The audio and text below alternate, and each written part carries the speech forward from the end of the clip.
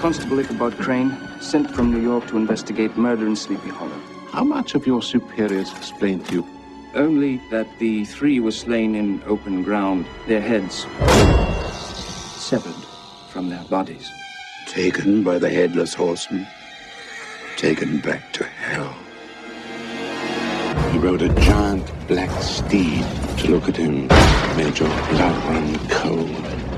Even today, the Western Woods is a haunted place where brave men will not venture.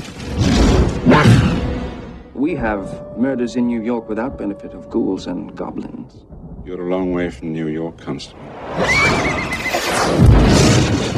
Is everyone in this village enthralled to superstition? We have many things to talk about, even in this backward place. Excuse my manner.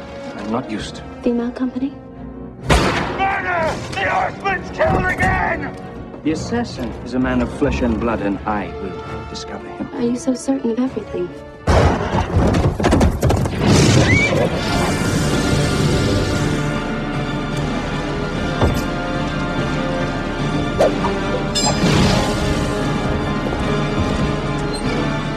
Perhaps there's a bit of a witch in you, Katrina, Why do you say that?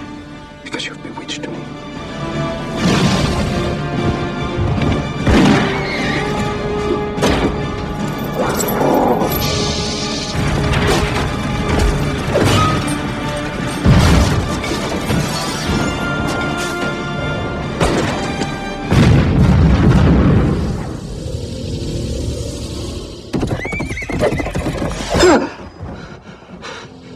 Let's go.